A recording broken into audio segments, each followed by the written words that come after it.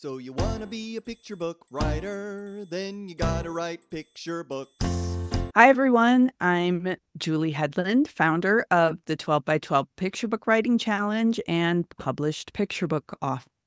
Here today to talk more about layers in picture books. If you haven't gotten our free guide to the top 10 layers in picture books yet, you can get it at 12by12challenge.com forward slash layers. It's completely free and it will give you insight into all the layers and the ways that we work with them to create complexity and depth in our picture books. Even though they're short, they still need to be deep.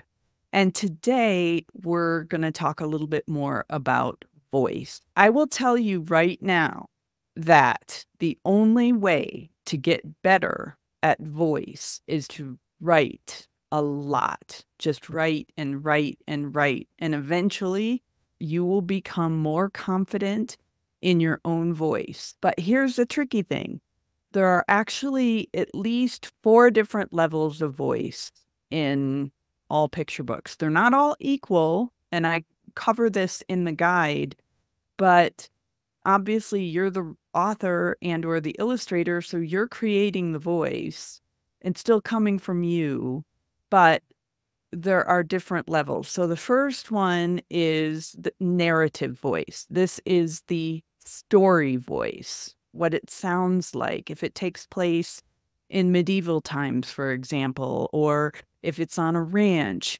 or if it's pirates, it's going to sound different depending on the type of story it is. So that's one level of voice. Another level is character.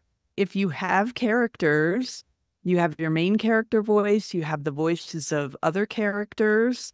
And even if you don't have a character, you still always have a narrator of sorts, somebody telling the story, right? And then the next layer of voice is author voice. That is you on the page, almost like a fingerprint of how you sound as a writer.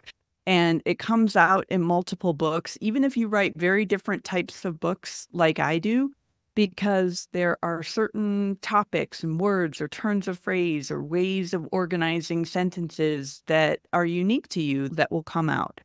The fourth level is illustrations. And even if you're not an illustrator, you still need to write with that layer in mind because the illustrations tell more than 50% of the story in picture books.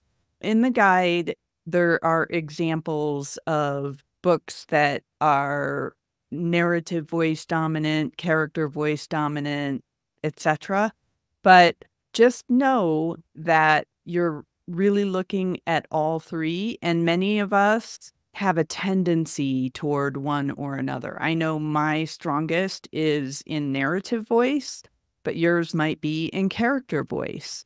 So keep that in mind. And again, remember that what makes you better and more confident in your own voice is writing lots and lots, and also reading when you read picture books, notice the voice and write down whether you notice the voice and whether you think it is most dominant in narrative, character, author, or a combination thereof. Look at the illustration voice, etc.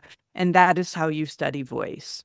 Again, if you haven't gotten the guide yet, you can go to 12by12challenge.com forward slash layers.